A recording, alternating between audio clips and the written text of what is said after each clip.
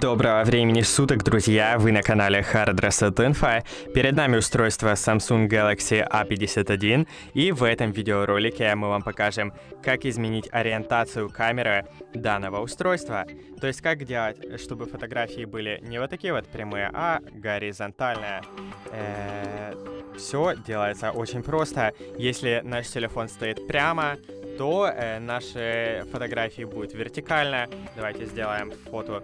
А если мы просто повернем телефон, то наш, наше устройство с помощью датчиков это поймет и повернет фотографии. То есть сейчас мы вернемся в обычный режим и видим, что наш телефон сделал обы- обе фотографии ровно, но обе фотографии получились под разной ориентацией.